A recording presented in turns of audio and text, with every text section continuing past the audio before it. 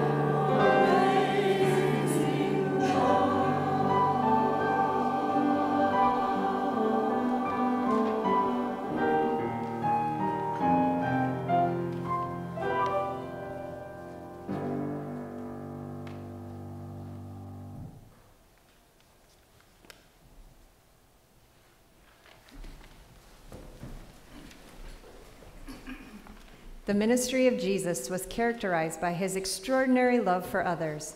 For three years, he taught, healed, served, and preached the good news. Now, following the miraculous raising of Lazarus from the dead, Jesus and a joyous crowd of followers prepared to enter Jerusalem in anticipation of the Passover celebration. The great crowd that had come for the feast heard that Jesus was on his way to Jerusalem. They took palm branches and went out to meet him, shouting, Hosanna! Blessed is he who comes in the name of the Lord. Blessed is the King of Israel.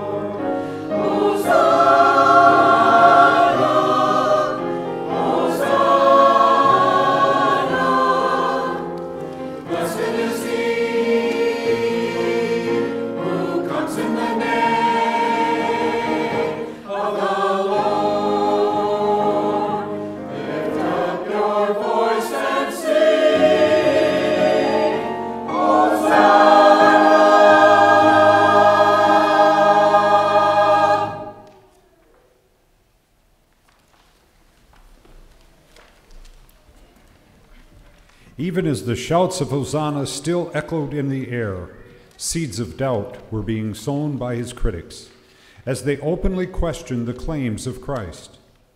Amid the contrasting scenes of jubilation and skepticism, Jesus arranged to meet with his closest followers to observe the Passover feast, challenging them to be servants in a world of need as they remembered him in the days to come.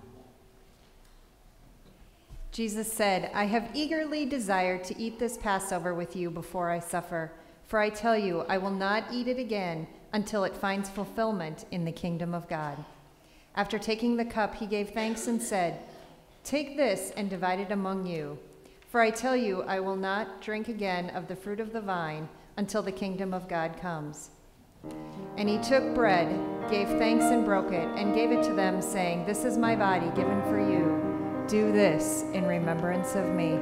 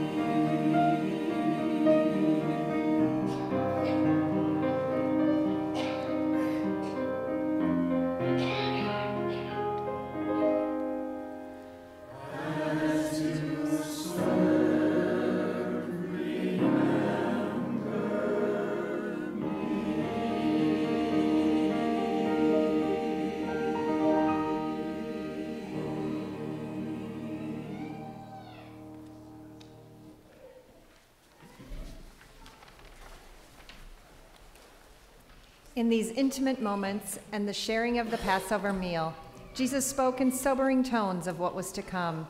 He spoke of these, his faithful followers, who would soon fall away.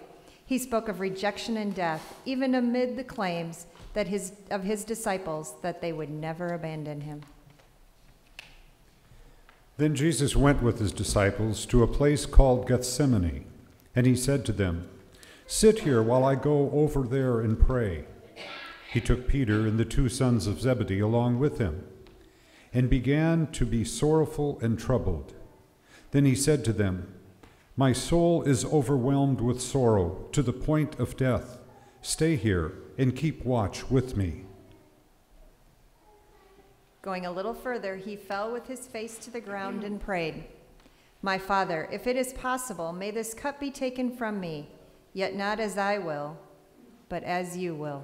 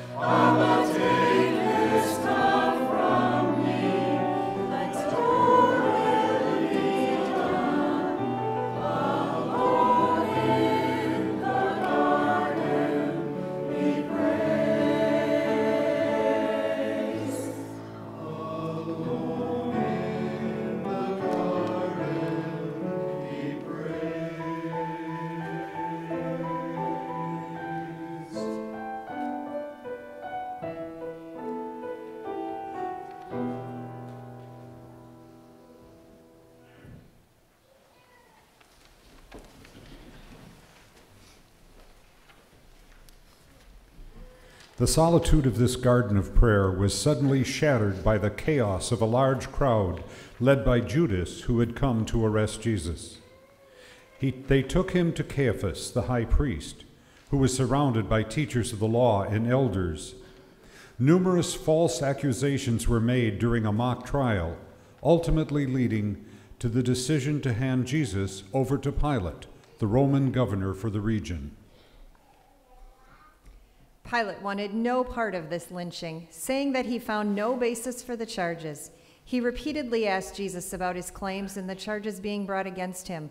Ultimately, though, Pilate relented and handed Jesus over to be crucified. So the soldiers took charge of Jesus. Carrying his own cross, he went out to the place of the skull called Golgotha. There they crucified him, and with him with two others, one on each side, and Jesus in the middle.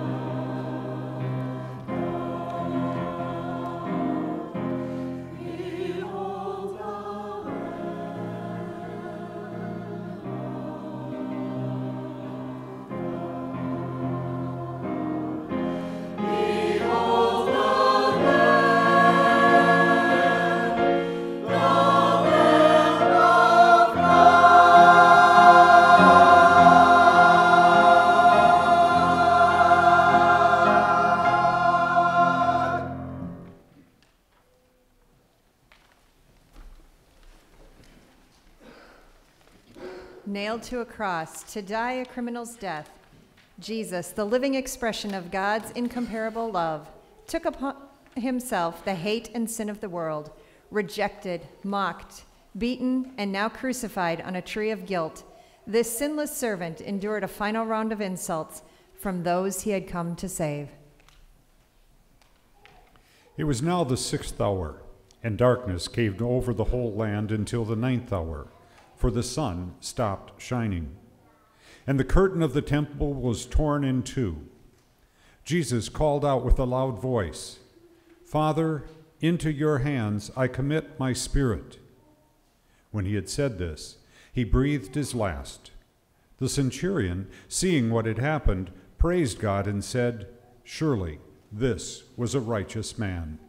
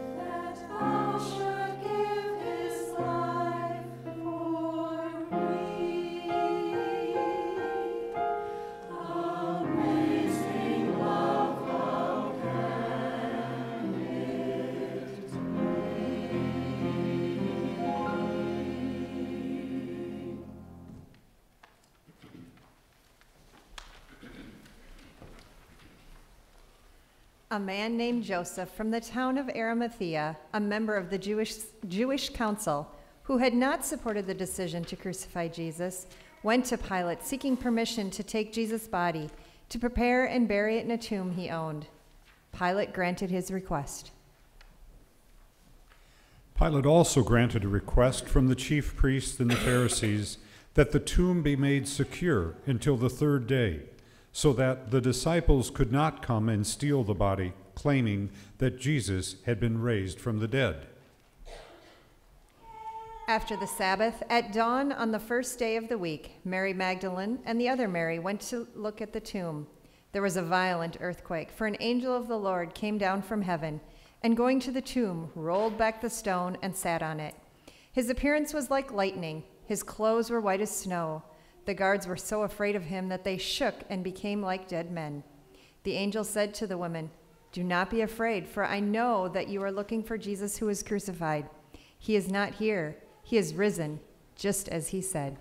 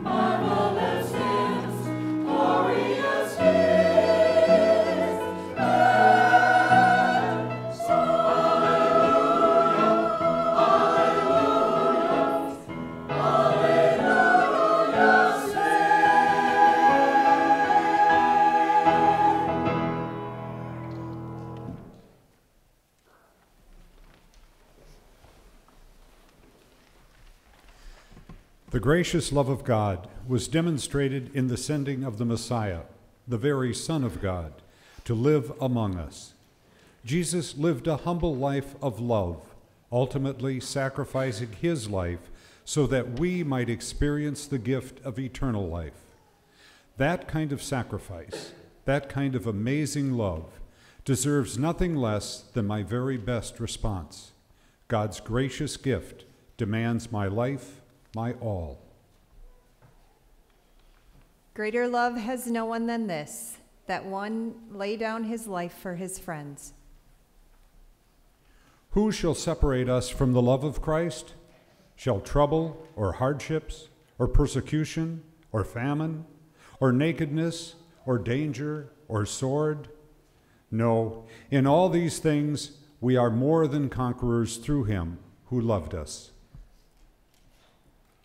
For I am convinced that neither death nor life, nor angels nor demons, neither the present nor the future, nor any powers, neither height nor depth, nor anything else in all creation will be able to separate us from the love of God that is in Christ Jesus our Lord.